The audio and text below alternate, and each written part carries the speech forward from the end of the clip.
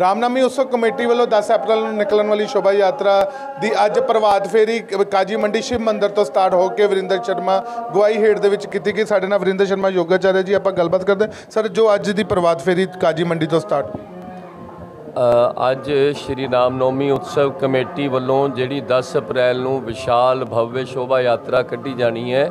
ਉਹਦਾ ਨਿਮੰਤਰਣ ਦੇਣ ਵਾਸਤੇ ਇਸ ਇਲਾਕੇ ਦੇ ਵਿੱਚ ਵਾਰਡ ਨੰਬਰ 56 ਦੇ ਵਿੱਚ ਅੱਜ ਪ੍ਰਭਾਤ ਫੇਰੀ ਦਾ ਆਯੋਜਨ ਕੀਤਾ ਗਿਆ, ਜਿਹੜੀ ਕਿ ਸ਼ਿਵ ਮੰਦਿਰ ਕਾਜੀ ਮੰਡੀ ਤੋਂ ਸ਼ੁਰੂ ਹੋਈ। ਕਾਜੀ ਮੰਡੀ ਦੌਲਤਪੁਰੀ, ਕਪੂਰ ਕਲੋਨੀ ਅਜੀਤ ਨਗਰ ਚੋਂ ਹੁੰਦੀ ਹੋਈ ਮਾਂ ਮਾਰੀ ਅੰਮਾ ਦੇ ਮੰਦਿਰ ਕਾਜੀ ਮੰਡੀ ਪਹੁੰਚੀ ਹੈ। ਇੱਥੇ ਸਭ ਨੇ ਭਜਨ ਕੀਤਾ, ਕੀਰਤਨ ਕੀਤਾ, ਬਹੁਤ ਸਾਰੇ ਲੱਕੀ ਡਰਾ ਕੱਢੇ ਗਏ।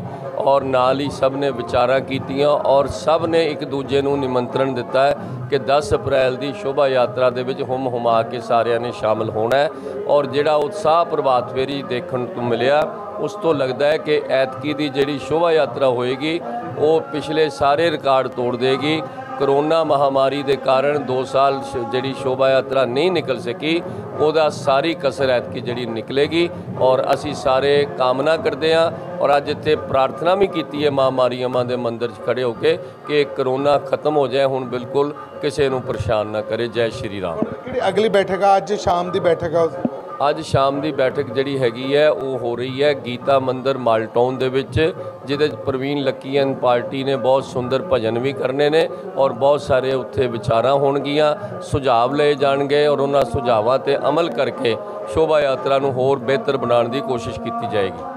ਐਸੀ ਸਾਡੇ ਨਾਲ ਵਰਿੰਦਰ ਸ਼ਰਮਾ ਯੋਗਾਚਾਰਿਆ, ਜਿਸ ਦੀ ਤ- ਤੁਸੀਂ ਦੇਖਿਆ ਅੱਜ ਕਾਜੀ ਮੰਡੀ ਤੋਂ ਸ਼ਿਵ ਮੰਦਿਰ ਤੋਂ ਸਟਾਰਟ ਹੋ ਕੇ ਪ੍ਰਭਾਤ ਫੇਰੀ ਅਲੱਗ-ਅਲੱਗ ਮਹੱਲਿਆਂ ਚੋਂ ਹੁੰਦੇ ਹੋਏ ਜੋ ਸਮਾਪਤ ਮਰੀਅੰਮਾ ਮੰਦਰ ਦੇ ਵਿੱਚ ਸਮਾਪਤ ਕੀਤੀ ਗਈ ਹੈ। ਪਦਮ ਸ਼੍ਰੀ ਵਿਜੇ ਕੁਮਾਰ ਚੋਪੜਾ ਜੀ ਦੀ ਗਵਾਈ ਹੇਠ ਦੇ ਵਿੱਚ ਜੋ 10 ਅਪ੍ਰੈਲ ਨੂੰ ਨਿਕਲਣ ਵਾਲੀ ਸ਼ੋਭਾ ਯਾਤਰਾ ਦੀਆਂ ਤਿਆਰੀਆਂ ਮੁਕੰਮਲ ਹੋ ਚੁੱਕੀਆਂ। ਕੈਮਰਾਮੈਨ ਦੇਵਰਾਜ ਦੇ ਨਾਲ ਸੋਨੂ ਮਹਾਜਨ, ਪੰਜਾਬ ਕੇਸੀ ਟੀਵੀ ਜਲੰਧਰ। ਦੇਸ਼ ਦੁਨੀਆ ਦੀ ਹਰ ਵੱਡੀ ਖਬਰ ਨਾਲ ਜੁੜੇ ਰਹਿਣ ਲਈ ਸਾਡੇ YouTube ਚੈਨਲ ਨੂੰ ਸਬਸਕ੍ਰਾਈਬ ਕਰੋ। ਨਾਲ ਦੀ ਨਾਲ ਹਰ ਨਵੀਂ ਵੀਡੀਓ ਦੀ ਨੋਟੀਫਿਕੇਸ਼ਨ ਲਈ ਬੈਲ ਆਈਕਨ ਜ਼ਰੂਰ ਦਬਾਓ।